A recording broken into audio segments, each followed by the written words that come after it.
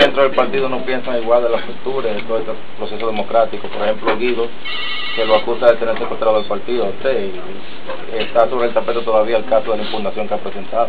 Sí, eso se está conociendo en las instancias eh, que establecen los estatutos y en las instancias que también establece la decisión de la Junta Central Electoral. Nosotros recién terminamos de tener una comisión política la semana pasada, donde obviamente hay una participación eh, importante eh, muy importante de la matrícula de la Comisión Política y se tomaron decisiones que fueron conocidas, que fueron debatidas, una reunión de cinco horas en la que todo el mundo pudo expresarse y que finalmente la mayoría expresó eh, su decisión al respecto de los temas que se estaban Pero se habla de la dictadura dentro del partido. Sobre esa parte de la, de la cuota que se reserva, dice que se están alejando de los principios de Peña Gómez, quien tradicionalmente se reservaba un 10%. Y la otra parte de, que decía Guido, del secuestro al partido.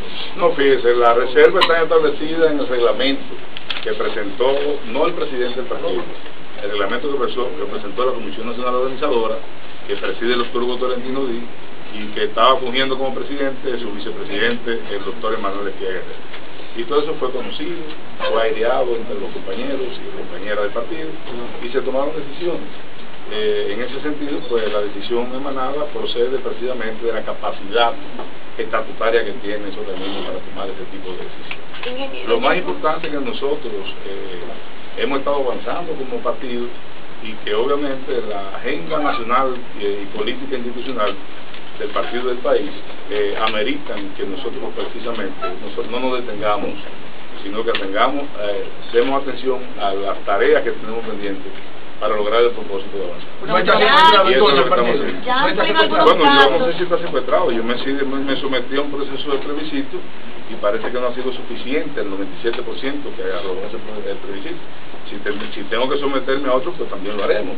Pero mientras tanto yo creo que lo más importante es que nosotros tengamos conciencia de la responsabilidad que tenemos con el partido, eh, cuyos dirigentes cuyo dirigente medio y la base del PRD lo que quiere precisamente que continuemos nosotros el camino de que el PRD pueda avanzar para lograr las conquistas necesarias de obtener representaciones congresuales y municipales importantes, que esto se una plataforma de impulso a la victoria en el, en el 2020. presidente, hay una, una corriente que está circulando en el Congreso de la República por el endurecimiento de la pena para como forma de frenar los actos delincuenciales. ¿Cuál es su posición?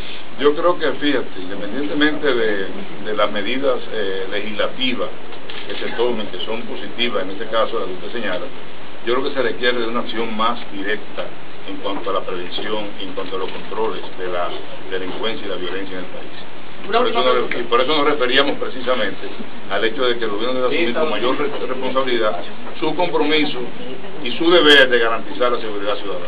Y, ingeniero, respecto a esto de las reservas que ya ha traído eh, eh, dime si directa en cuanto a dirigentes del PRD, básicamente en el día de hoy escuchábamos el caso de San Juan de la Maguana, donde ellos expresaban que por qué no se van a la contienda y a la primaria. ¿Qué piensan ustedes hacer? San Juan de la Maguana. En San Juan de la Maguana, ahí estaba un exdiputado Eulalio y otras personas, y decían que esto puede traer división en el PRD. Mire, mire, eh, lo que nosotros tenemos que destacar sobre eso es que en tiempo récord, conociendo unos reglamentos en marzo, estableciendo una proclama el jueves y llamando a inscripciones el viernes, sábado y domingo, 4.600 candidatos se inscribieron y aportaron al partido por primera vez un proceso convencional va a ser autofinanciado por sus protagonistas y eso se llama gerencia política, unos 50 millones de pesos. Muchas gracias, compañero.